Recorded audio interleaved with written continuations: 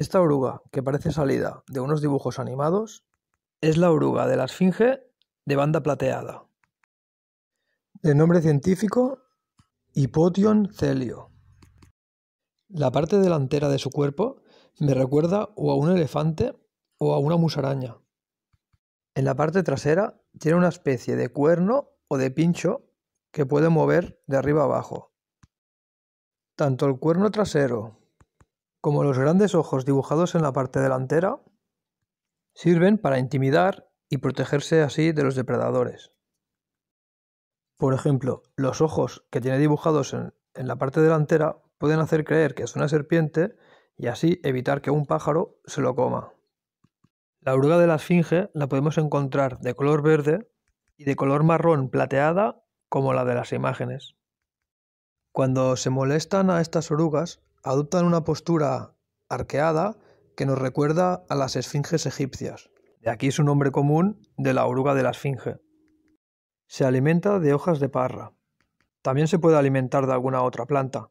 En este caso, estaba en la parra de la casa de una amiga y me la trajo para que la cuidara y de este modo evitar que la mataran. Y la alimenté hasta convertirse en mariposa, como ahora veréis. Mirar el tamaño que tiene ella. Más o menos llegan a medir unos 10 centímetros.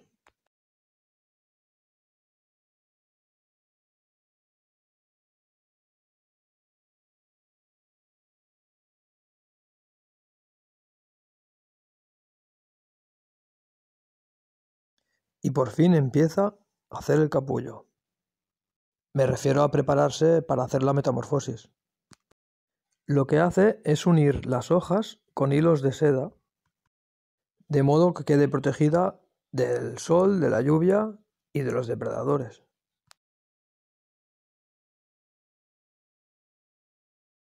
Hace lo que será su última muda de piel para convertirse en pupa.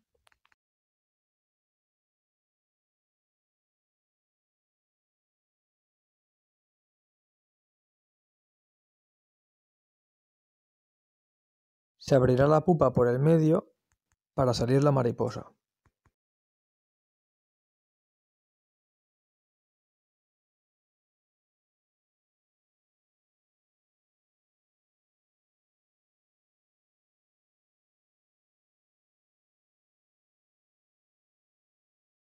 Y por fin sale de la pupa. Al principio no puede volar porque tiene las alas arrugadas, pero poco a poco irá bombeando sangre hacia las alas para que se vayan desplegando. Mide unos 6 centímetros. Tiene una lengua muy larga para poder llegar al polen de las flores. Las alas más pequeñas, que son las que quedan debajo, tienen un color rosado. Las alas más grandes tienen un color marrón para poder camuflarse en los árboles. Su vuelo es muy estático mientras come el néctar de las flores, al que nos recuerda al colibrí. Es una mariposa migratoria, donde se la puede ver en Europa, en África, en Asia y Australia. En este caso, ha nacido en Cataluña. Migrará a África, donde pasará el invierno, y serán sus descendientes los que regresen a Cataluña. Así que está a punto de que la soltemos para que pueda empezar su gran viaje. La dejé en la ventana para que cuando ella se sintiera preparada iniciara su vuelo.